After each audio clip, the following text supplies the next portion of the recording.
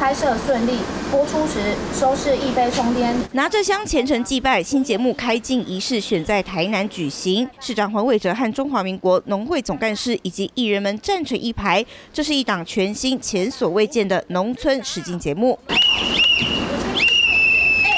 在大大的台湾地图上，艺人们玩起游戏，猜各地的农特产品。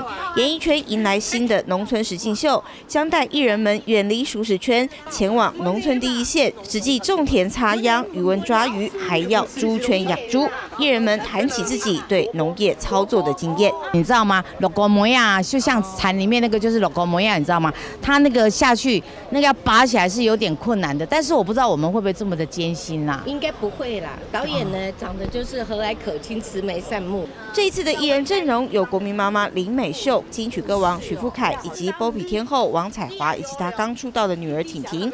大家要一起体验台湾农业，用一种节这个综艺性的这个整个节目的模式哈，来让我们国人很清楚的知道台湾的农业。